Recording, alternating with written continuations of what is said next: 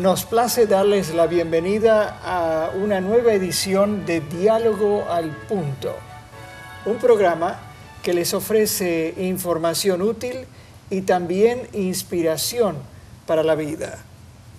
Hoy tenemos como nuestra invitada a la doctora Nancy Weber Wimeister, que es una especialista en idiomas originales de la Biblia, además de docente e investigadora. Bienvenida a Diálogo al Punto. Un placer. Estamos muy felices de que usted venga a compartir con nuestra audiencia su conocimiento. Y la primera pregunta es, ¿qué la motivó a interesarse en los idiomas en que se escribieron originalmente los libros de la Biblia? A la semana de casados estudiábamos la Biblia una noche y mi esposo flamante marido me dice, siento que no voy a poder estudiar la Biblia en sus lenguas originales. ¿Y cómo le dije yo? Pero es que tú no la sabes.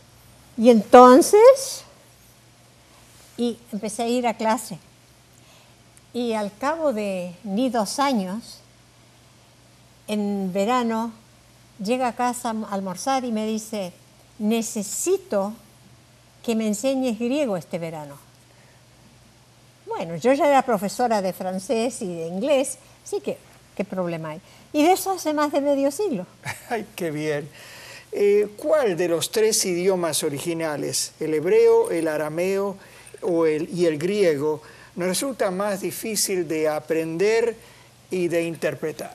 Bueno, el arameo solo aparece en un par de capítulos en Daniel, Esdras y Jeremías. y es una lengua muy parecida al hebreo, así que más vale hablamos del hebreo como la lengua eh, difícil. El hebreo era el lenguaje del santuario, del templo y de la adoración a Dios. Y la mayor parte del Antiguo Testamento está escrito en ese idioma. Pero se hace difícil porque ese idioma se escribe sin vocales. Hay 22 consonantes y ninguna vocal. Escribir sin vocales es fácil, leerlo es más problemático. Pero más problemático es cuando están todas las palabras unidas y uno no sabe lo que está leyendo. Así que se hace difícil. Los manuscritos antiguos son difíciles de leer. Los más antiguos son los rollos del Mar Muerto que aparecieron en una cueva en 1947. Eh, estaban dañados, pero descubrimos allí que había muy poca modificación en 20 siglos. Los manuscritos hebreos que se tenían hasta ese tiempo eran del siglo IX después de Cristo pero siempre tienen las mismas dificultades, tienen unos puntitos, pero no tienen lo que nosotros pensaríamos como vocales. Ahora, el Nuevo Testamento fue escrito en griego y el griego se parece más al español. Eh, las conjugaciones verbales son muy parecidas y hay palabras que las usamos directamente del griego, antropología, cosmos, pero estos manuscritos también son difíciles de leer. Y eso es el original que tenemos hoy. Ahora, los libros que hoy llamamos Antiguo Testamento ya se tradujeron a otro idioma antes de la primera venida de Cristo. Explíquenos un poco esto. Es cierto. Eh, mientras los judíos estaban en su tierra, hablaban todos el hebreo. Pero cuando se fueron por allí, no siguieron hablando. Y en Egipto, por allí, por el siglo III antes de Cristo, el rey Ptolomeo mandó hacer una traducción que se llama la, de los 70, porque eran 70 sabios la que la hicieron. Eh, tenemos evidencia de que este manuscrito estaba completo para el año 130. Y es interesante que en el Nuevo Testamento eh, Pablo hace sus citas del Antiguo Testamento usando la versión de los 70. Evidentemente eso era lo que él estaba acostumbrado a tener en su mano. No muchas décadas después de la ascensión de Cristo y los inicios de la iglesia cristiana, la Biblia comenzó a traducirse a otros idiomas y ese proceso ha seguido desde entonces a través de los 20 siglos. ¿A, qué se debe ese esfuerzo de traducir? Las primeras traducciones fueron hechas por misioneros que llevaban el cristianismo a otros lugares. El primero de todos fue un tal Úlfilas, y Úlfilas tradujo la Biblia, empezó por el Nuevo Testamento, al godo, donde él era misionero en lo que es hoy Bulgaria. Entonces se siguieron traduciendo a otros idiomas hasta que se tradujo al latín la vulgata. Ahora, este trabajo de traducción ha seguido. Eh, de eso nació las sociedades bíblicas. Y hoy día funciona la, el grupo Wycliffe, que trabaja en 60 países, porque a las sociedades bíblicas quedaron 30% de la población del mundo sin Biblia. Y Wycliffe está tratando de poner la Biblia en idiomas autóctonos a fin de que todos tengan acceso a la palabra de Dios. Antes de avanzar más en este tema, doctora Wimeister, quisiéramos que nos hable algo acerca del contexto en que usted se crió y sus años formativos. Soy hija de misioneros norteamericanos, misioneros, una familia, y, pero me crié en el Uruguay. Y hoy si me preguntan de dónde soy, si estoy hablando en castellano, digo, soy del Uruguay. Y Evidentemente era bilingüe, hice toda la primaria y la mayor parte de la secundaria en el Uruguay. ¿Y siguió algún estudio posterior? Sí, sí, sí. Después, a, nivel de eh, licenciatura, estudié un año en Francia porque quería aprender a ser profesora de francés. No, no profesora, traductora. Y después te completé mi carrera en Pacific Union College. Con eso llegué al, nivel de licenciatura. Cuando mi esposo, años después, fue eh, invitado a estudiar en Andrews, yo dije aprovecho y hago la maestría. Y cuando él volvió como profesor, hice el doctorado en Andrews. Ahora, eh, ha aludido a su esposo y me puede hablar un poco acerca de eh, el trabajo que ha hecho su esposo y luego de sus hijos.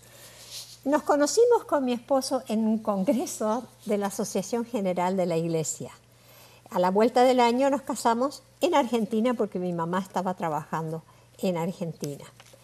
Eh, mi esposo ha sido profesor y académico toda la vida. Eh, con frecuencia en pues, posiciones administrativas. Y yo lo acompañaba. ¿Y los hijos? Tenemos dos hijos. la hija nació en Chile y el varón nació en Argentina, así que se criaron entre Argentina y Uruguay, más o menos como yo. La hija es hoy jefa de un servicio de eh, parteras o matronas, obstetras en Chicago y el hijo es jefe de finanzas en la Universidad Adventista de África en Nairobi. Y tenemos tres nietos, el mayor de ellos casado. Qué bien. Volvemos al tema entonces de las traducciones de la Biblia. ¿Es posible afirmar que las nuevas versiones son mejores que las anteriores? no son tanto mejores, sino que están traducidas con la intención de que las personas de hoy puedan leerlas. Porque nos resulta difícil leer el castellano antiguo.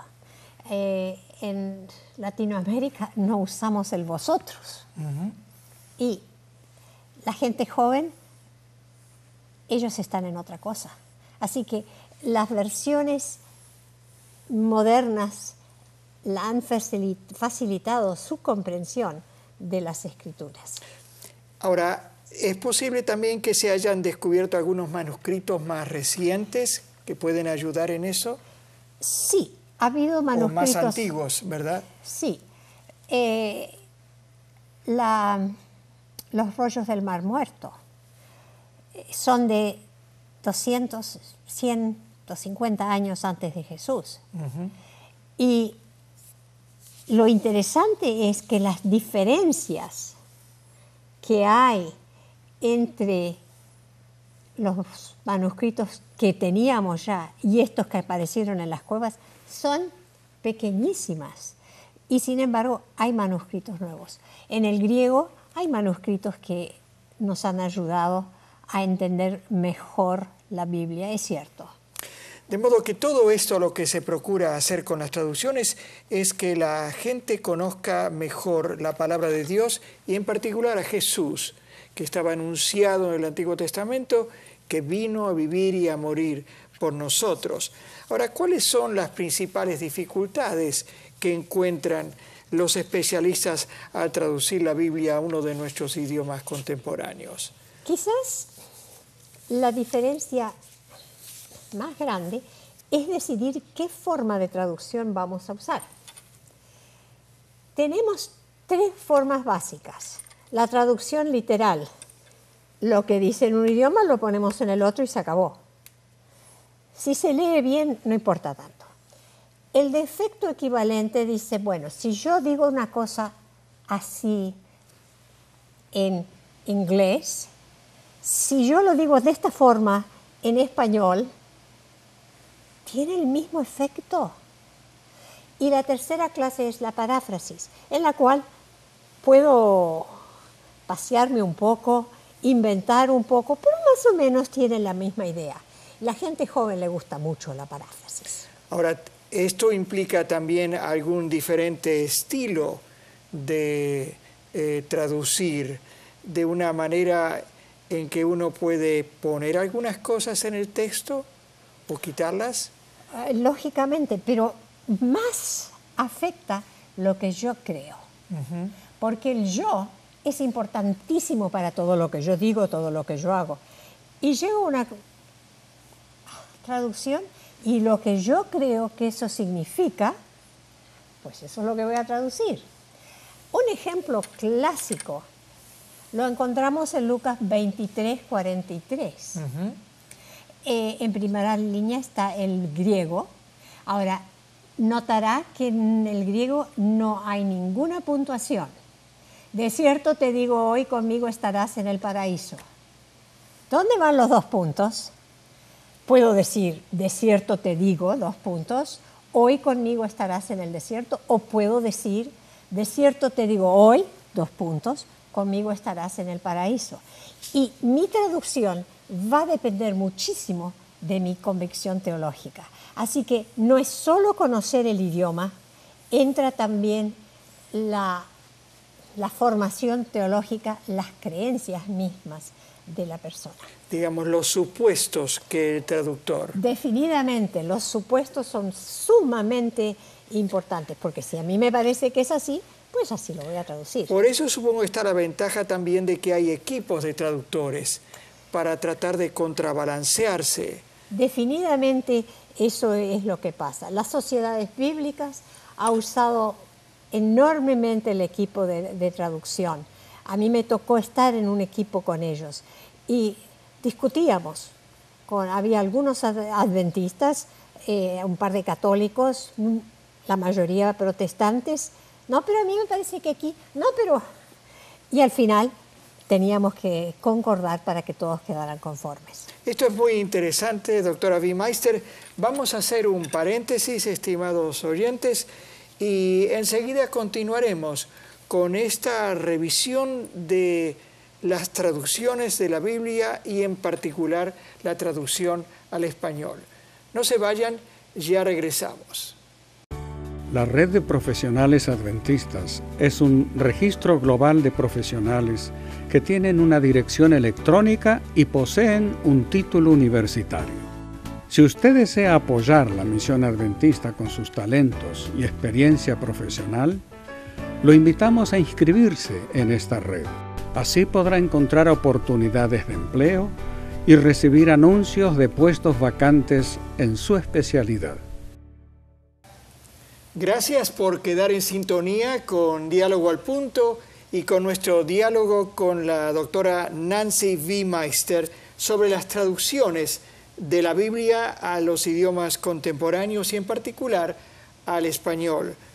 Usted ha enseñado idiomas bíblicos en varios países y ha publicado también un libro sobre el aprendizaje del griego del Nuevo Testamento. Eh, ¿Cuán importante es que conozcamos este idioma? Para los pastores, los teólogos, los profesores, es indispensable. Para Juan, cualquiera tal vez no sea tanto, pero es sí importante estudiar diferentes traducciones, leerlas, compararlas y entonces vemos el sentido correcto que tiene. Por otra parte, dado que hoy se lee tan poco la Biblia, cualquier momento que se dedique a la lectura, al estudio de la Biblia, es bueno. Eh, los materiales que hoy están en línea, en Internet, son fabulosos. Como ejemplo, les doy BibleGateway.com. Tiene una cantidad de Biblias y diccionarios y qué sé yo. Y uno puede encontrar todo lo que necesite y traducido, claro, mayormente al inglés, pero hay otros sitios también en eh, español. Ahora, un asunto importante en la traducción y el estudio es la diferencia entre exégesis y eisegesis. Exégesis es de afuera, de adentro para afuera. Dice que se deja verter el significado desde adentro. Mientras que eisegesis es meter para adentro, meterle al texto lo que uno piensa que debe decir. Y esa diferencia es muy importante. Claro. Eh, porque si no decimos lo que no queremos. Y por eso fue que preparé un manual de investigación teológica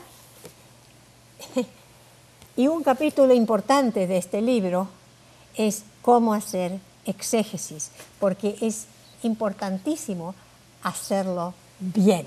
Tratar con respeto el texto que ha venido a nosotros. Claro, no tratar de hacerle decir lo que yo quiero que diga. Usted también, doctora Meister, nos ha ayudado a revisar eh, los textos originales, las palabras originales de los siete tomos del comentario bíblico adventista del séptimo día. Explíquenos un poquito qué trabajo hizo usted. Me tocó eh, asegurarme de que las palabras originales estaban bien escritas de acuerdo al sistema hispano y asegurarme de que la traducción era lo que debía ser. Y después de eso traduje varios libros de la Biblia, el comentario de varios libros, y al final me tocó hacer una última revisión para horror de los editores, porque siempre tenía que encontrar alguna cosa. Eh, los oyentes interesados en adquirir la gramática griega del Nuevo Testamento, el comentario bíblico, pueden visitar el portal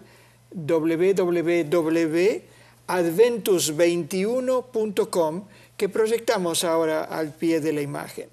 Y quiero hacer un salto histórico, eh, doctora Bimeister. Tengo conmigo una versión facsimilar de la primera versión completa de la Biblia al español. Y quisiera que viéramos la bonita portada en donde vemos allí la imagen de un oso eh, comiendo la miel de un panal dentro de, una, de un árbol. Esta versión es de 1569 publicada en el exilio y en donde se nos invita a gustar de la miel de la palabra de Dios. Y por eso se llama la Biblia del oso, por esa portada. Es una Biblia que representó un tremendo sacrificio, hay mucha sangre, hay mucho sufrimiento, mucha persecución detrás de este libro que ahora nosotros tenemos con libertad. Eh, nos gustaría entender mejor el trabajo de los traductores de la Biblia al español y los distintos matices que se le pueden dar a un mismo eh, pasaje. Eh, vamos a hablar de cuatro diferentes versiones. Las comparaciones que voy a hacer son entre la Reina Valera de 1995, que es una descendiente de, la Biblia del Oso, la primera Biblia protestante en español. También voy a mencionar a la Biblia de Jerusalén, que es una Biblia erudita, católica, con muchas notas, publicada en 1966. Y entonces la versión internacional, publicada por primera vez en 1979, eh, ha sido puesta al día varias veces. Y finalmente la versión popular, Dios habla hoy, que apareció en 1966 y se ha revisado varias veces. Estas son cuatro Biblias que enfocan la traducción de distintas maneras. Vamos a ver algún ejemplo entonces. Sí. Vamos a ver un ejemplo en el Antiguo Testamento y uno en el Nuevo. La Reina Valera revisada dice, el que habita al abrigo del Altísimo morará bajo la sombra del Omnipotente. La Biblia de Jerusalén dice, el que mora en el secreto del león pasa la noche a la sombra de Sadai. Están esas palabras, pero las usa en el hebreo para sonar mejor. Eh, la nueva versión. internacional, el que habita al abrigo del Altísimo se acoge a la sombra del Todopoderoso. Dios habla hoy, el que vive bajo la sombra protectora del Altísimo y Todopoderoso, dice el Señor, y ahí sigue. Aquí se nota más el tipo paráfrasis, no es una traducción frase por frase, sino que nos vamos por eh, todo el versículo a darle una sensación de unidad. Em, ¿Puede darnos algún ejemplo del el Nuevo Testamento? Sí, miremos Santiago 1.5. Si alguno de vosotros tiene falta de sabiduría, pídala a Dios, el cual da a todos abundantemente y sin reproche, y le será dada.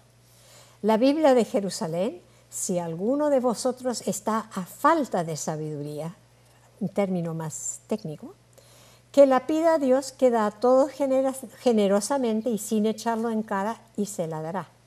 Las dos últimas versiones no usan el vosotros, usan ustedes. Si a alguno de ustedes le falta sabiduría, pídasela a Dios. Él se la dará, pues Dios da a todos sin limitación y sin hacer reproche alguno. La nueva versión internacional, si a alguno de ustedes le falta sabiduría, pídasela a Dios y Él se la dará pues Dios da todo generosamente y sin menospreciar a nadie. Se nota ahí la diferencia entre las dos clases de Biblia. Y sin embargo, entendemos el pensamiento con claridad. Sí, sin mayor dificultad. Usted ha enseñado durante varios años y en distintos países los textos originales de la Biblia. ¿Nos puede explicar un poco este concepto de qué método utilizó Dios para comunicarse con nosotros? En esto hay algo de misterioso. Que Dios se haya dignado siquiera a transmitir su mensaje a los seres humanos pecaminosos está más allá de lo que yo puedo comprender. ¿Cómo lo hizo? Francamente, yo no estoy segura. Creo firmemente, sin embargo, en la inspiración de la Biblia pero no creo que Dios haya dictado, Moisés escribe ABC, sino que de alguna manera les hizo entrar en la cabeza lo que ellos tenían que hacer. Él quería que supiéramos cómo es Él, qué es eso de la salvación, cómo Jesús logra la salvación por nosotros, que Él va a renovar este mundo, fabricar un lugar perfecto y que allí podemos estar. Así que la Biblia nos presenta todo este panorama.